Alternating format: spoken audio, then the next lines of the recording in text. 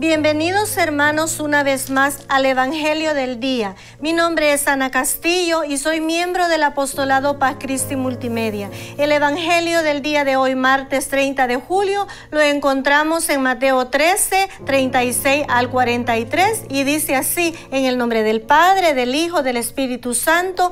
Amén. Después Jesús despidió a la gente y se fue a casa. Los discípulos se acercaron y le dijeron, Explícanos la parábola de las malas hierbas sembradas en el campo. Jesús les dijo, el que siembra la semilla buena es el Hijo del Hombre. El campo es el mundo. La buena semilla es la gente del reino. La maleza es la gente del maligno. El enemigo que la siembra es el diablo. La cosecha es el fin del mundo y los segadores son los ángeles. Vean cómo se recoge la maleza y se quema. Así sucederá al fin del mundo. El Hijo del Hombre enviará a sus ángeles. Estos recogerán de su reino todos los escándalos y también los que obran el mal y los arrojará en el horno ardiente. Ahí no habrá más llanto y rechinar de dientes. Entonces los justos brillarán como el sol en el reino de su Padre. Quien tenga oídos, que entienda. Palabra de Dios, te alabamos, Señor.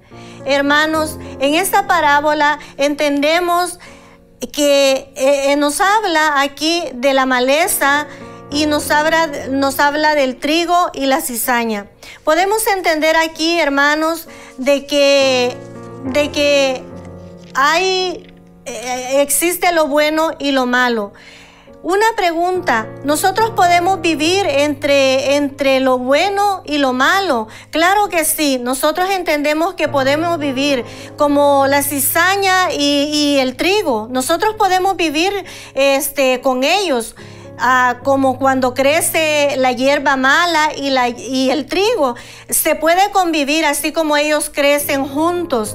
Pero mucho cuidado, hermanos, porque nos puede causar mucho daño. Nos podemos nosotros acomodar, igual que con la cizaña. Nos podemos, eh, nos puede caer la envidia, nos puede caer este eh, muchas cosas malas igual que ella, pero nosotros con el amor de Dios podemos crecer igual y podemos dar un ejemplo a los demás, pudiendo ser una hierba buena. Hermanos, nosotros podemos inculcar a nuestros hijos y podemos vivir este, llenos de amor de Dios y podemos ser una hierba buena en medio de los demás. Hermanos, yo les invito a ustedes de que sigamos adelante en el amor de Dios y también les invito a que se suscriban a nuestro canal en YouTube y en Facebook. Bendiciones.